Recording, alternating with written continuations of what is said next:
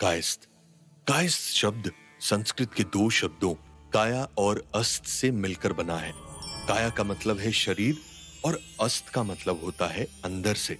कायस्थ समाज का शिक्षा और प्रशासन में महत्वपूर्ण योगदान है। इनके बिना भारतीय समाज की कल्पना नहीं की जा सकती। तो आइए, आज हम जानेंगे कायस्थ कम्युनिटी के दिलचस्प इतिहास को। और कायस्थ कम्युनिटी के अनुराणों, कथाओं और लेखों के अनुसार, कायस्थ समाज का जन्म प्राचीन मध्यकाल में हुआ। और माना जाता है, ये चित्रगुप्त के वंशज हैं। यमराज के अनुरोध पर ब्रह्मा जी ने संसार में मृत्यु का लेखा जोखा रखने के लिए चित्रगुप्त को जन्म दिया था। चित्रगुप्त ने दो शादियाँ की। पहली पत्नी का नाम इरावती और दूसरी का नाम नंदनी था। इरावती को आठ और नंदिनी को चार पुत्र हुए, जिनके नाम थे श्रीवास्तव, सूरज ध्वज, वाल्मिक, अस्थाना, माथुर, गौड़, भटनागर, सक्सेना, अम्बष्ट, निगम, करण और कुलश्रेष्ठ। और इन्हीं के वंशजों को कायस्थ कहा जाने लगा। इतिहास में पहली बार कायस्थ शब्द का प्रयोग 375 एडी में कुशान साम्राज्य में किया गया।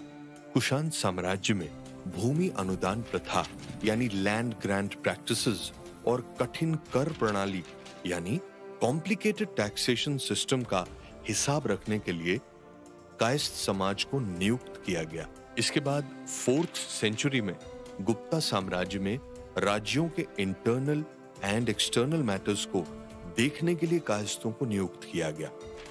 सेवेंथ सेंचुरी के बाद कायस्थ समाज अलग अलग साम्राज्यों में अलग अलग पदों पे काम करते रहे। उस समय होम मिनिस्ट्री के सलाहकार, revenue ministry and taxation department के अधिकारी जैसे इंपॉर्टेंट पोस्ट पर भी कायस्थ कम्युनिटी के लोग काम करते थे।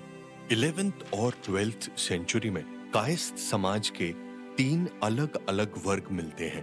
पहला वर्ग, उत्तर भारत के चित्रगुप्त वंशी कायस्थ, जो राज्य का लेखा जोखा संभालते थे। दूसरा वर्ग, महाराष्ट्र के चंद्र सेनीय प्रभु कायस्थ जिन्हें वेदों की स्टडी करने और उन पर रिसर्च करने का काम दिया गया। और तीसरा वर्ग, बंगाली कायस्थ जो ज़्यादातर क्षत्रिय थे और इन्हें राज्य के शासन और प्रशासन से जुड़े हुए काम दिए गए। भारत में मुगलों के आने के बाद, फारसी भाषा मुगल साम्राज्य की ऑफिशियल भाषा बन गई थी। कायस्थ कम्युनिटी के लोग बहुत प्रोग्रेसिव माइंडसेट के लोग थे।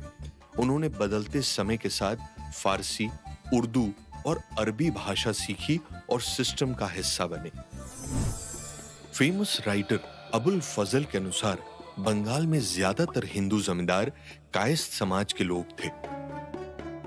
कायस्थ समाज ने अपने आप को यहीं ठीक सीमित नहीं रखा, बल्कि वो देश के अलग अलग हिस्सों में जाकर बसे जैसे कायस्थ निज़ाम की कोर्ट में मनसबदार यानी अधिकारी के पद पे काम करने लगे। भारत में ब्रिटिश शासन के समय कायस्थ कम्युनिटी न सिर्फ़ पब्लिक एडमिनिस्ट्रेशन का काम करते थे, बल्कि एग्जीक्यूटिव और जुडिशियल सिस्टम में भी शामिल हुए। कायस्थ समाज के लोग कारोबार करने में भी माहिर थे। 1911 तक बंगाल और देश के लगभग 40 परसेंट मिल्स और फैक्ट्रीज के मालिक कायस्थ समाज के लोग ही थे। अमेरिकन स्कॉलर क्रिश्चियन नोवजिक के अनुसार मेडिवियल पीरियड में 6 से 13 एडी भारत के कुछ राज्यों में कायस्थ कम्युनिटी को ब्राह्मण माना जाता था और दूसरे राज्यों में उन्हें क्षत्रिय भी माना जाता था। वक्त के साथ कायस्थ समाज आगे बढ़ा और इन्होंने अपने आप को रिकॉर्ड कीपिंग के कामों तक ही सीमित नहीं रखा।